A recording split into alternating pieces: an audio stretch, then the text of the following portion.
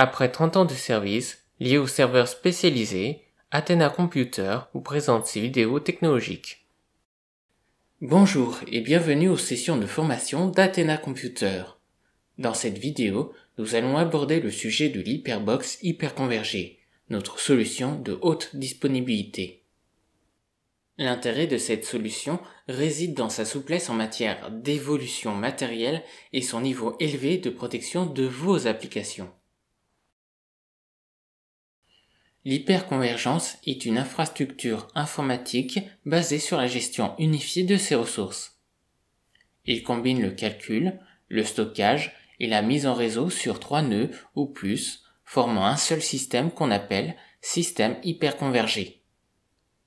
Ce système permet la répartition optimisée des ressources utilisées par les machines virtuelles et évite un chômage technique en cas de panne d'un nœud via une migration automatisée de CVM. De plus, vous pouvez ajouter d'autres nœuds identiques ou différents pour ajouter de nouvelles ressources au système.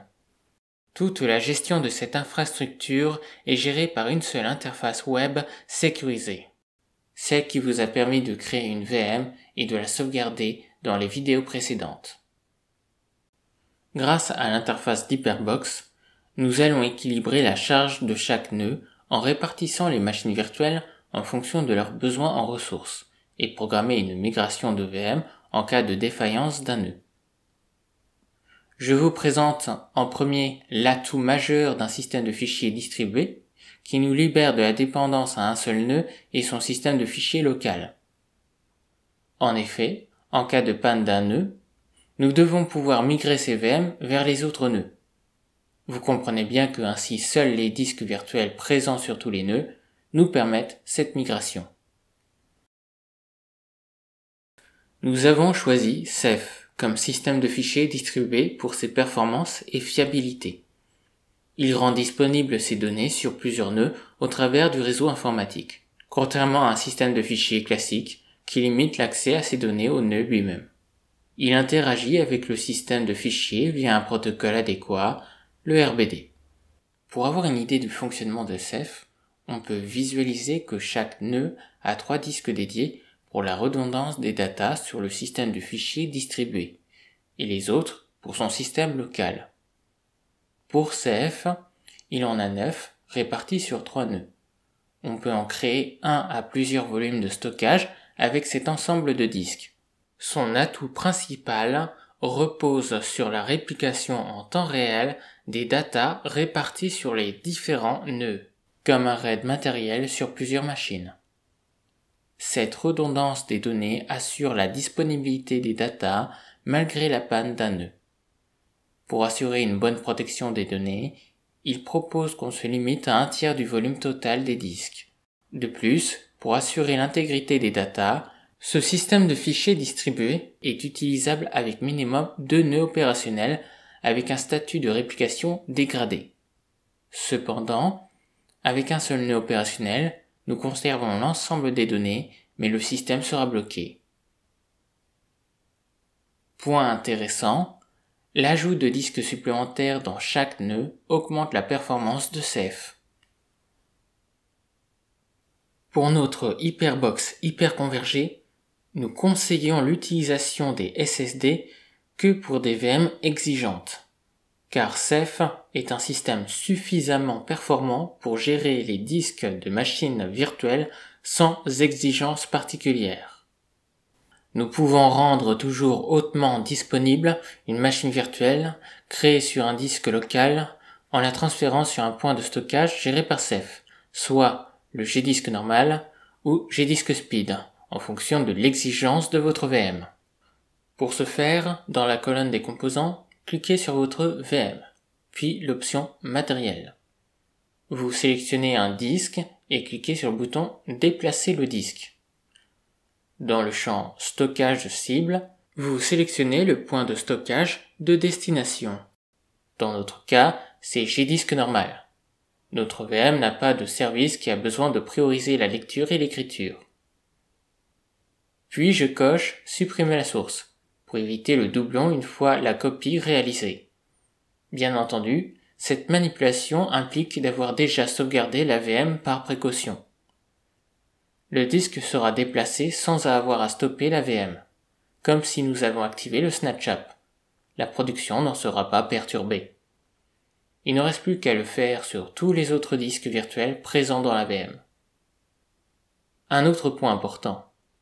Pour préparer la VM à la haute disponibilité, le lecteur CD de la machine virtuelle doit être sur le mode aucun média. Sinon, la VM active ne sera pas déplacée à cause de son fichier ISO ou son lecteur physique. Le disque est maintenant placé au bon endroit, on peut commencer à parler de la répartition des VM sur les nœuds pour utiliser au maximum les ressources disponibles. Chaque VM a ses propres besoins en ressources, processeur, mémoire, stockage et réseau. Il est évident qu'un seul nœud ne puisse supporter la charge totale de vos machines virtuelles. Pour éviter une surconsommation des ressources ou devoir investir sur du matériel plus puissant sur un seul nœud, autant utiliser nos trois nœuds pour répartir les VM et ainsi optimiser l'utilisation des ressources. Prenons un exemple et focalisons-nous sur la consommation en ressources processeurs.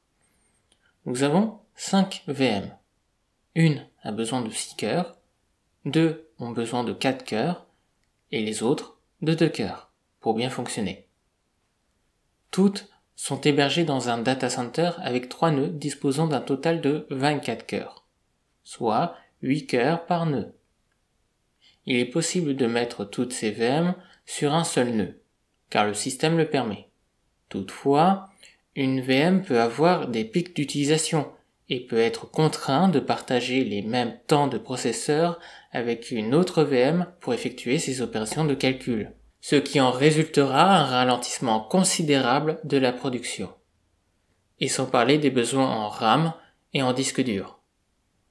Pour éviter ce problème, on a juste à utiliser les ressources des autres nœuds. Dans mon exemple, la VM a 6 cœurs et seule sur le nœud 1, car il consomme beaucoup de processeurs et de disques. Sur les deux autres nœuds, c'est un couple de VM à 4 cœurs et de cœurs. Et ainsi, j'utilise pleinement mes ressources processeurs en réservant deux cœurs par nœud pour le futur. Et en cas de panne d'un nœud, les VM utiliseront les nœuds restants. Nous allons maintenant procéder à la répartition des charges en déplaçant les VM sur différents nœuds. Dans l'onglet des composants, on clique sur notre VM à déplacer puis on clique sur le bouton Migration. Dans le champ Migrer vers le nœud, choisissez le nœud de destination. Quand vous lancerez la migration d'une VM en ligne, seule la mémoire vive sera copiée sur le nouveau nœud pour éviter le redémarrage de la VM. La production n'en sera pas perturbée. Toutefois, pour les VM qui profitent des périphériques dédiés au pass il est obligatoire d'avoir ces mêmes périphériques sur les nœuds de destination et vous devrez migrer l'AVM éteint pour la migration manuelle ou cocher la case No Failback pour une migration dans le cadre de la HA qu'on abordera plus tard. Bien. Vos VM sont bien répartis sur les nœuds et peuvent être redistribués au besoin en cas de panne matérielle. Il est temps maintenant de parler de la haute disponibilité. La haute disponibilité, ou HA, est un service qui assure la continuité de la production en cas de panne matérielle, en migrant ces VM sur les autres nœuds toujours opérationnels. Le HA est vivement recommandé pour éviter le chômage technique de plusieurs heures ou jours en attendant la réparation du matériel. Avant de paramétrer la haute disponibilité sur des VM, il faut calculer la meilleure répartition des VM sur les autres nœuds, toujours en ligne. Il vaut mieux répartir toutes les VM du nœud en panne sur les autres nœuds en respectant les besoins de la production afin de conserver la fluidité des applications critiques. Pour commencer, dans la colonne des composants, cliquez sur Data Center, puis l'option HA, et pour finir, le sous-option Groupe. C'est ici que nous allons créer nos scénarios en fonction d'un éventuel nœud défaillant. L'organisation de la HA exige l'attribution d'une nœud principale et secondaire pour chaque machine virtuelle. C'est pour cette raison qu'on va créer des groupes différents pour chaque nœud qui satisferont cette exigence. Par exemple, si le nœud 2 tombe en panne, le premier groupe de VM est déplacé sur nœud 1 et le second groupe sur nœud 3. Et ainsi, malgré une panne, on conserve au maximum la répartition des ressources utilisées. Pour ce faire, cliquez sur le bouton Créer. Mettez un nom significatif pour le repérage de ce groupe, par exemple le nom du nœud principal vers le nom du nœud de secours, ce qui peut donner Node 2 to Node 1. La case restriction permet de limiter le déplacement des VM du groupe uniquement vers des nœuds sélectionnés qui ont les mêmes caractéristiques. Par exemple, l'utilisation des périphériques dédiés au pass-through. Vous pouvez tout de même confier au système la répartition des charges des VM sans exigence particulière des VM en laissant la case vide. La case No Feedback empêche la migration automatique vers le nœud principal, fonction utile pour les VM de ce groupe disposant d'un périphérique dédié qu'on appelle pass-through. Choisissez les nœuds qui pourront héberger les VM de ce groupe en indiquant l'ordre d'importance pour chaque nœud. Attribuez le numéro le plus fort au nœud principal et les numéros inférieurs serviront pour les nœuds secondaires. Cliquez sur Créer et c'est tout. Il ne reste plus qu'à intégrer ces VM au groupe. Et bien sûr, on continue à créer pour chaque nœud tous les groupes indispensables pour couvrir tous les scénarios de panne possibles. Bien, les groupes sont créés. Il ne reste plus qu'à intégrer les VM dans le bon groupe en vous basant sur la répartition des VM en situation normale et en cas de panne, et à déterminer le statut de fonctionnement de ces VM. Pour ce faire, vous cliquez sur le Data Center dans la colonne des composants, puis cliquez sur l'option HA, ensuite cliquez sur le bouton Ajouter. Dans la fenêtre, vous avez plusieurs champs. Dans le champ VM, sélectionnez la VM à mettre en haute disponibilité. Je choisis mon serveur DNS. Dans le champ groupe, mettez le groupe HA déterminé selon vos plans de répartition pour cette VM. J'ai choisi Node 2 to Node 1. Le champ nombre maximum de redémarrage détermine le nombre de tentatives de démarrage avant de marquer la VM comme hors service j'en mets 2. Dans le champ max déménager, mettez le nombre de tentatives maximales pour le déplacer sur un autre nœud en cas de problème avant de le taguer en hors service. J'en mets 2. Et le dernier champ, état de la demande, correspond à vos souhaits de retrouver vos VM dans cet état-là malgré les actions réalisées dans la console de vos VM. Il y a quatre choix le started pour garder la VM en ligne, le stophead pour garder la VM éteint, utile pour paramétrer une VM à froid, l'ignored désactive la haute disponibilité, et disable annule le statut hors service de la VM pour un redémarrage manuel, car le statut hors service empêche toute action de démarrage automatique ou manuel sur la VM. Je mets Started.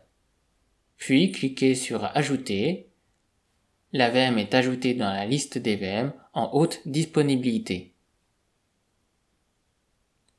J'avais créé le serveur DNS sur le nœud 1 et suite à la mise en place de la haute disponibilité, la VM a migré sur le nœud 2 presque immédiatement. La haute disponibilité sur cette VM est en place et ainsi nous n'aurons pas à intervenir sur le serveur physique et surtout supporter l'incapacité d'utilisation de nos applications. Pour vous montrer la fiabilité de notre solution Hyperbox hyperconvergée, je vais débrancher le câble d'alimentation du deuxième nœud. Immédiatement, l'icône du nœud dans la colonne des composants change et indique une erreur. Le contact avec les VM hébergés sont perdus. Mais pas de panique. Au bout de 15 secondes, dans l'onglet Data Center, option HA, la haute disponibilité constate une perte de contact définitive. On le voit dans la liste des statuts. 50 secondes plus tard, le statut des VM passe en mode protection. C'est un statut d'attente pour s'assurer que le nœud n'est pas en train de redémarrer avant le déplacement des VM. 60 secondes plus tard, le système déplace les VM du nœud en panne vers les nœuds de secours programmés et démarre ces VM. Ensuite, leur système d'exploitation finit de charger avec ses services entre 30 et 60 secondes. Le temps d'indisponibilité suite à une panne se situe en moyenne entre 150 et 180 secondes, soit environ 3 minutes. En comparaison d'une panne non redondée, où il faut attendre un technicien, souvent prestataire, pour trouver la panne et le remettre en production, ce qui équivaut à une ou deux journées d'inactivité, alors que les 3 minutes d'indisponibilité, comme vous le devinez, sont presque imperceptibles. C'est là l'intérêt principal d'un hyperbox hyperconvergé. Bien sûr, nous sommes évidemment pas obligés à investir des sommes importantes dès le départ dans l'optique des besoins futurs de l'entreprise. Vous pouvez toujours commencer par un hyperbox ou trois petits nœuds et agrandir votre infrastructure avec l'évolution de votre entreprise. Si votre entreprise grandit de façon significative, on peut envisager la répartition des nœuds ou des solutions de secours pour assurer la sauvegarde et la continuité des services sur les différents sites distants. Pour conclure, je vais surtout vous parler de la souplesse de notre solution d'hyperconvergence à s'adapter à toutes les entreprises grâce à la solution évolutive que nous avons mis en place en collaboration avec un de nos partenaires revendeurs. En effet, un artisan fabricant de meubles sur mesure a été victime de ransomware. Son prestataire en informatique avait essayé de restaurer les sauvegardes pour éviter de payer 20 000 euros demandés par les pirates. En vain. À cause des sauvegardes non suivies par l'artisan, ils ont préféré payer la rançon pour ne pas pénaliser la production. Malgré tout, il y a eu trois jours de blocage dans l'entreprise. Pour faire face à ce genre de situation, et surtout un suivi automatisé des sauvegardes, son prestataire revendeur nous a sollicité pour concevoir un système informatique sécurisé et adapté au budget de son client. Nous lui avons proposé une solution intermédiaire composée d'un hyperbox et un serveur backup à placer à l'extérieur pour envisager un plan de reprise en moins de trois heures. Nous avons placé un hyperbox dans l'atelier et hyperbox backup au domicile de l'artisan. Ce plan a bien fonctionné pendant deux ans avec l'entière satisfaction de notre client revendeur. Il avait paramétré des sauvegardes de CVM toutes les heures sur l'hyperbox lui-même et les mêmes sauvegardes déportées sur l'hyperbox backup physique à 30 minutes d'intervalle. Durant ces deux années, il n'a restauré que une VM et quelques fichiers supprimés par erreur. Et bien sûr, tout ceci a été piloté à distance. Plus tard, l'activité de ce fabricant s'est développée et il a décidé de construire un nouveau bâtiment. Suite à ça, il a envisagé un plan de reprise en moins de 10 minutes. Nous avons alors conseillé de réutiliser ses serveurs actuels et d'ajouter deux nouveaux serveurs pour transformer son hyperbox en hyperbox hyperconvergé. Ils ont placé un nœud dans chaque bâtiment, y compris au domicile du propriétaire et Hyperbox Backup a été rapatrié dans les bureaux administratifs. Ainsi, pour un investissement minoré, ils ont réussi à augmenter les performances de leur application et profiter de la haute disponibilité. Et surtout, la double sauvegarde très rassurant, déjà paramétrée. Après quelques contrôles de fiabilité du système, l'entreprise a choisi de gérer en interne leur serveur web et avec notre aide, mettre en place un serveur de messagerie open source. Cette formation sur Hyperbox hyperconvergé est maintenant terminée. Nous espérons que vous avez apprécié cette vidéo. À l'avenir, nous ferons sûrement d'autres vidéos de formation pour approfondir le sujet ou pour vous faire découvrir nos autres solutions d'Athena Computer. Avant de nous quitter, n'hésitez pas à nous mettre un pouce bleu, à vous abonner et à cliquer sur la petite cloche pour nous encourager et être informés des nouvelles vidéos. À bientôt.